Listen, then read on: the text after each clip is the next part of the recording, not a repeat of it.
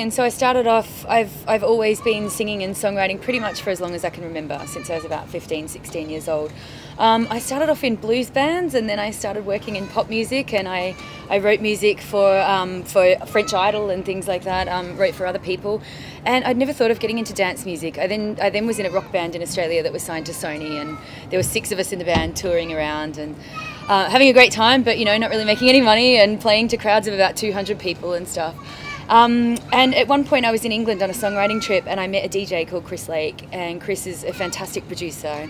We decided to get together and, and write a song, and we wrote a song called "Carry Me Away," which was only a demo, but it was released. And when, when it was released, it got an amazing response, and it ended up going to number one on the Beatport cha- dance charts and everything. And um, and I think the Billboard charts and stuff as well in America. So I thought, wow, maybe this is my world. Um, then other DJs, Cosmic Gate, got in touch and asked me to work with them, and, and we wrote a song together that also was well received.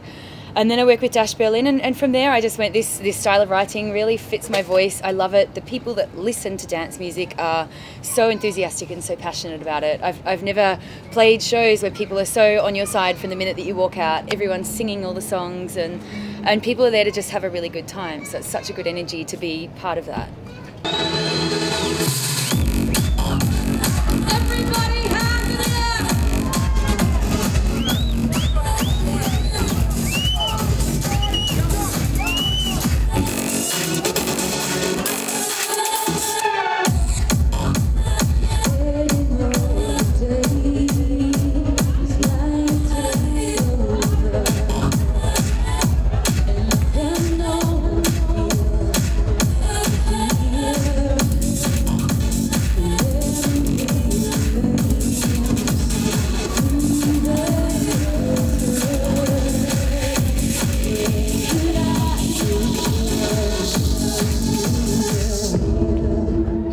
To me, it's actually having that interaction with the crowd. You know, I love I love writing the songs and being in the studio and having the feelings come through and the emotions of the songs. But when you actually get out there and you can see people and look look them in the eye and they're singing the words to the songs and you have that energy exchange with them, um, I think that's a really special thing. And I haven't experienced that in any other genre of music. So it's it's really cool.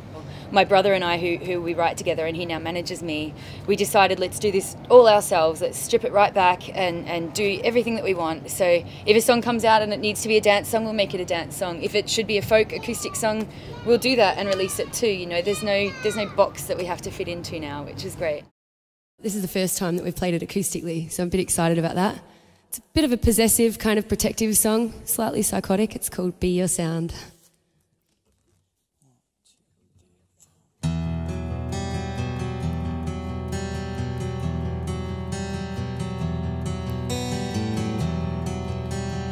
Meet me tonight, dear. I know we gotta run away. Leaving the old fear. Looking for a new place. I can feel a storm near. The dream won't go away. So meet me tonight, dear. And we'll run into a new day.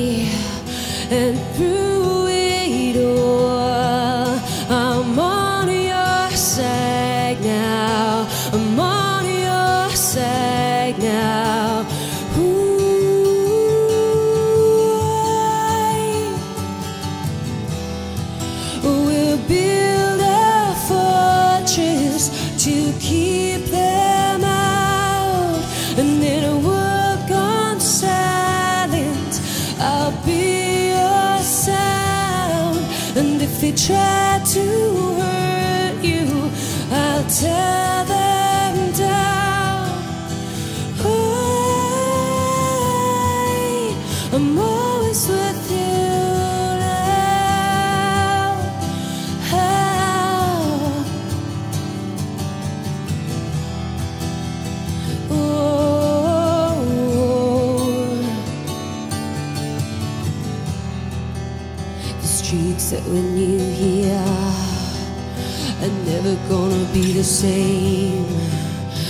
Seeing it all clear, and now I'm never going back again.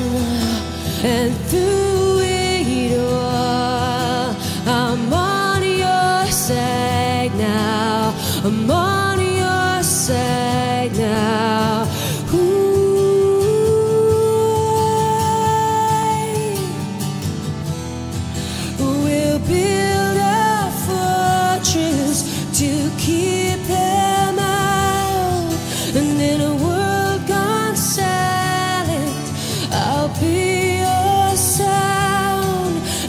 And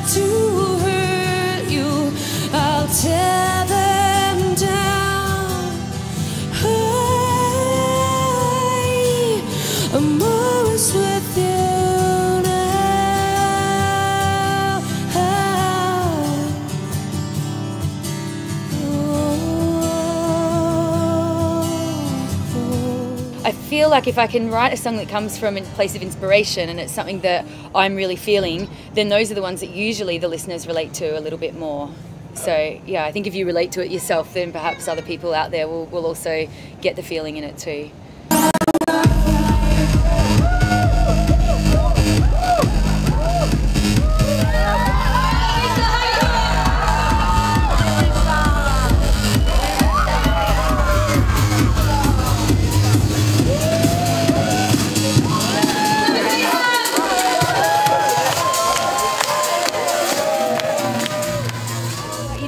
Clubs are fantastic. Mansion in Miami recently was great. Um, uh, the clubs in Ibiza are always fantastic too. And, and I love playing Asia. If, everywhere has its own special moments, you know. It's amazing, amazing. And I performed just after sunset. So seeing the, that natural amphitheatre of the rocks and, and as the sun's going down, all the colours it was throwing. It was actually a full moon as well. So I got to see the sunset and the moonrise while I was on stage. So it was really magical and the crowd was fantastic too. So yeah, really, really beautiful experience that I'll always remember. I think.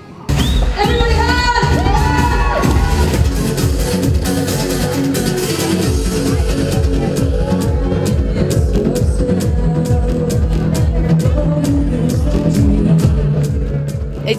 such an honour to be playing here, to be honest, because this is where dance musical began, really. And to have there's so many amazing DJs and, and producers here every single week. You know, Tiesto and Armin and all these guys, Ferry every single week. So it, it's it's an honour to be able to get on the same stage as these guys, you know, and and to actually be able to perform at Eden, which I've heard many many great things about. So. it's amazing um, to, to actually be able to get energy from the crowd and give energy back from the crowd to the crowd. It's it's such a great feeling, and I always try and run around and jump around as much as I possibly can. You know, if if there's something I can jump up on, I'll stand up there to to be able to connect with people more, or run into the crowd if I can. And and you know, I like to get as close to people as I possibly can, so that it feels like feels like I'm on the dance floor with them in, in a way. I am I'm working on another album at the moment, which will probably be split into two EPs.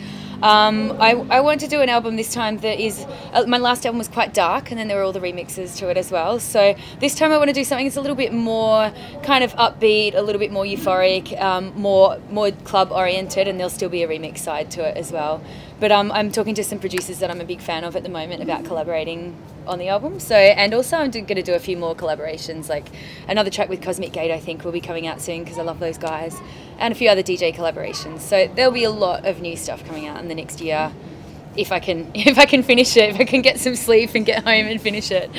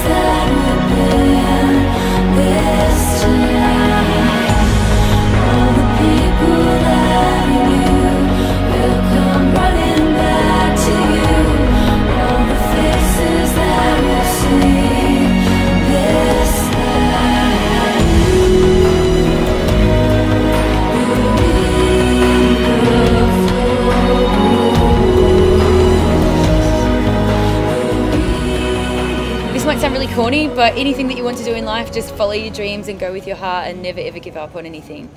But I hope that didn't sound too cheesy. Sorry. hey, I'm Emma Hewitt, and you're watching Storm the DJ.